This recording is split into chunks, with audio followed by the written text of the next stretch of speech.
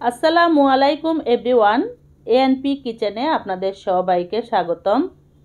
আজকে আমি তৈরি করে দেখাবো কাঁচা আমের ভর্তা এবং জাম ভর্তা। একই সাথে আজকে আমি দুটো রেসিপি আপনাদেরকে দেখাবো, কারণ এই রেসিপি খুব বেশি একটা সময় লাগে না করতে। দু এক মিনিটের ভিডিও কি শেয়ার করব আপনাদের সাথে, তাই আমি দুটো রেসিপি একসাথে শেয়ার করলাম।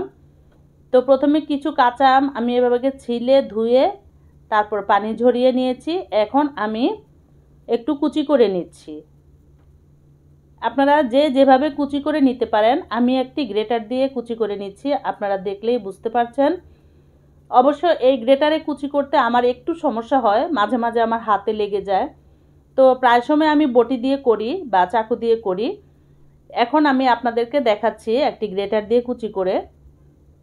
তো আপনাদের যেভাবে সুবিধা হয়, আপনারা সেভাবেই কুচি করে নেবেন। এভাবে আমি সবগুলো আম কুচি করে নিব।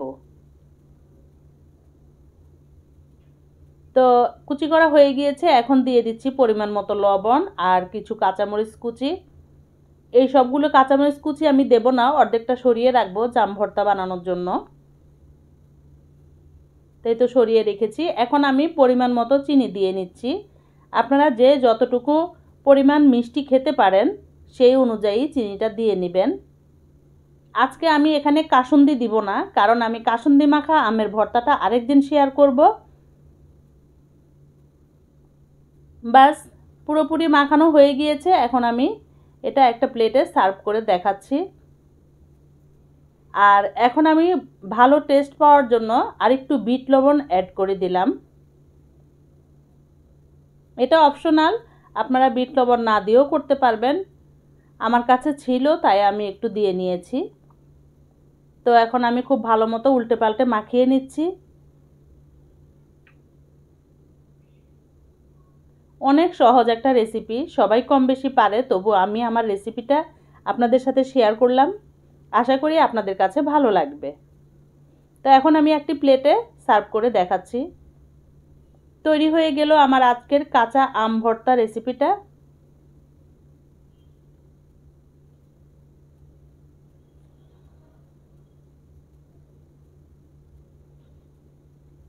এবার আমি আরেকটি প্লেটে বেশ কিছু জাম নিয়ে নিয়েছি। আর ওই যে অর্ধেকটা কাঁচামরিচ কুচি আমি সরিয়ে রেখেছিলাম, সেই অর্ধেকটা কাঁচামরিচ কুচি এখানে নিয়ে নিয়েছি। আর জামগুলোকে আমি এভাবে প্রতিটা জাম একটা একটা করে আমি দেখেন, হাত দিয়ে চেপে চেপে বিচিগুলো বের করে নিচ্ছি। এই রেসিপিতে ব্লেন্ডারে দেওয়া যাবে না, কারণ জামের বিচিটা খুবই নরম। ওটা একদম মিহিন হয়ে যাবে, তখন খেতে ভালো লাগবে না।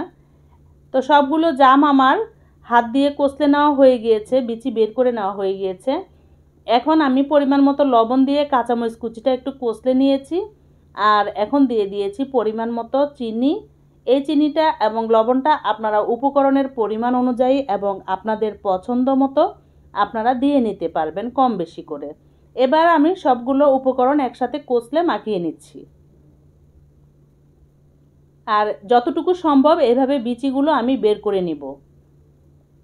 কারণ খাওয়ার সময় এতগুলো বিচি একসাথে থাকলে একটু অড লাগে। তো এখন আমি আবারও পরিমাণ মতো একটু বিট লবণ দিয়ে নিচ্ছি। এটা শুধুমাত্র একটু টেস্ট বাড়ানোর জন্য, না দিলেও চলবে। তো এবার আবার একটু উল্টে পাল্টে মাখিয়ে নিচ্ছি।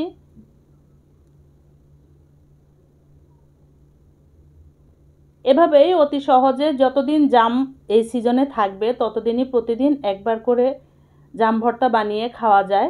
এই জাম আমাদের শরীরের জন্য অনেক উপকারী। তৈরি হয়ে গিয়েছে আমার জাম ভর্তা, এবার আমি একটি প্লেটে সার্ভ করে দেখাচ্ছি। আশা করি আপনাদের কাছে আমার রেসিপিগুলো ভালো লাগে। যদি ভালো লেগে থাকে তাহলে প্লিজ আমার চ্যানেলটিকে সাবস্ক্রাইব করে দিবেন, অবশ্যই লাইক কমেন্ট করবেন। আপনাদের লাইক কমেন্ট আমাদেরকে অনেক উৎসাহ দেয়।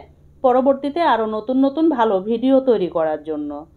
তো তৈরি হয়ে গিয়েছে আমার আজকের আম ভর্তা এবং জাম ভর্তা। সবাই ভালো থাকবেন। আল্লাহ হাফেজ।